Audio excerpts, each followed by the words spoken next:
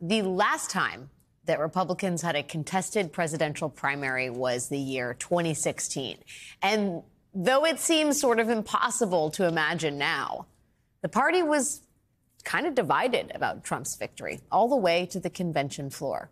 And you saw that no more clearly than when Senator Ted Cruz went to the podium, in a primetime speaking slot, I might add, and refused to mention Trump's name during his convention speech. And boy, oh boy, did people notice. If you love our country and love your children as much as I know that you do, stand and speak and vote your conscience. Vote for candidates up and down the ticket who you trust to defend our freedom. God bless each and every one of you, and God bless the United States of America.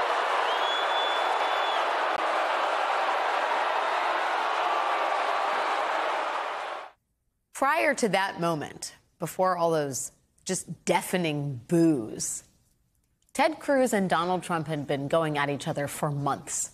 Relations between these two men were not good. Trump regularly went after Ted Cruz's family during the primary. He weirdly and baselessly accused Cruz's father of playing a role in the Kennedy assassination. He insulted Cruz's wife, Heidi Cruz, for her appearance.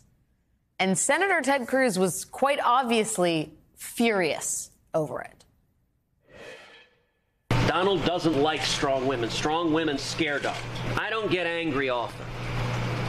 But you mess with my wife, you mess with my kids, that'll do it every time. Donald, you're a sniveling coward and leave Heidi the hell alone.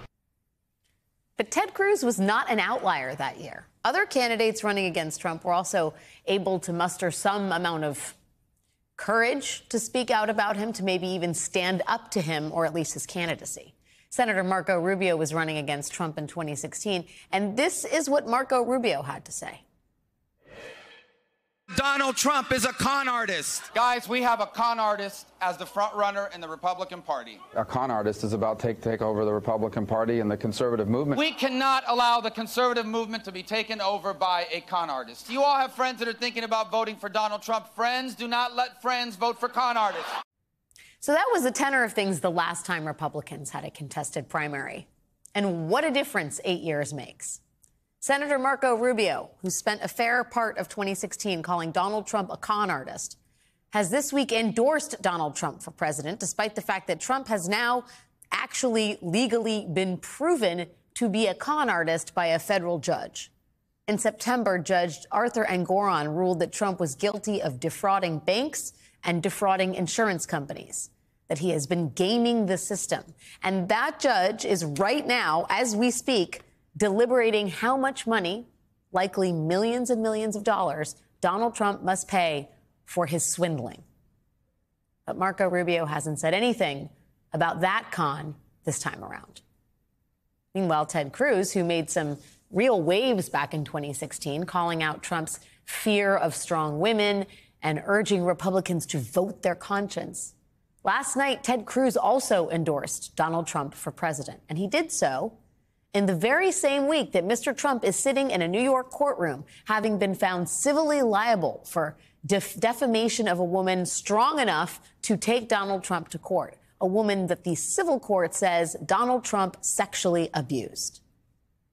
But Senator Cruz had nothing to say about strong women or consciences this week. The moral judgments Republicans once made about Donald Trump apparently do not matter anymore. The fact that Donald Trump said 12 days ago, 12 days ago, Ted Cruz, he shouldn't even exist. I could have destroyed him. I kind of did destroy him in 2016, if you think about it. But then I let him live. Even that did not matter to Ted Cruz. What we are seeing right now is the near complete capitulation of the Republican Party to Donald Trump. In addition to those senators I just mentioned, Trump has locked up 23 other endorsements from Senate Republicans, probably the group of Republicans most at least inclined to be resistant to his lawlessness.